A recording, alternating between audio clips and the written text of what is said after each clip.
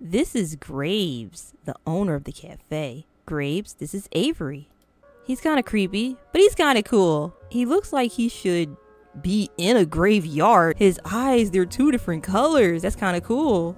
I can't focus on both of them at the same time. Which one am I supposed to look at? What kind of dumb nonsense is my character talking right now? Which one am I supposed to- That's the dumbest thing I ever heard. Could you imagine if somebody ever said that to you? Come on, sit down. Let's talk. Let's not. You're being weird. You don't have to be so stiff. Loosen up a bit.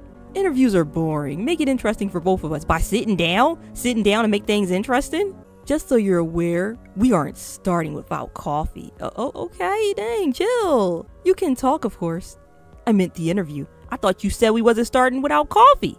Ah, I jump a little. When did he get there? I didn't hear anybody come up from the stairs at all.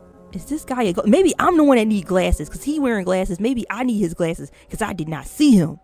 Gingerly, he sets two mugs in front of Graves. Thank you, Hayes, but you should give Avery the other mug. Yeah, like what is Graves gonna drink both cups of coffee? He might. I think he really love coffee. Do you know any other languages? How about ciphers? No, I just know English. What are you talking about, man? I speak the I speak the language of dance. What marine animal would you say best represents you?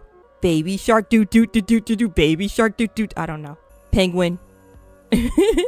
Graves pushes away from the table, coffee cup in hand. He nabs my saucer, even though I'm not quite finished, and slinks down the stairs. Dang, I can't even finish the coffee? What the heck, man? I get that the interview is over, but can I finish the coffee? Now, what you gonna do with that coffee? You gonna pour it out or you gonna feed it to the cats? Now, I could have finished that. Why are we wasting perfectly good coffee? If, if, if I wasn't even gonna finish the coffee, then why did you even give me the cup of coffee? I just don't get it. This place is weird head down the stairs. Landry's back. He looks uncomfortable, waiting at the foot of the balcony, but perks up when he sees me. He should have sat down. That's probably why he's uncomfortable. It's time to celebrate. I'm going to wreck this pizza I grabbed from Pizza Lloyd's on the way home. I picked up a can of wet cat food for Mochi from the corner store, too.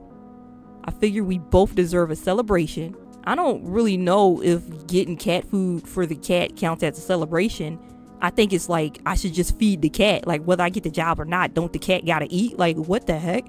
Like we like I get the job. Oh yeah, let's celebrate and eat some food. Oh no, I didn't get the job. Guess nobody eats tonight. Good night.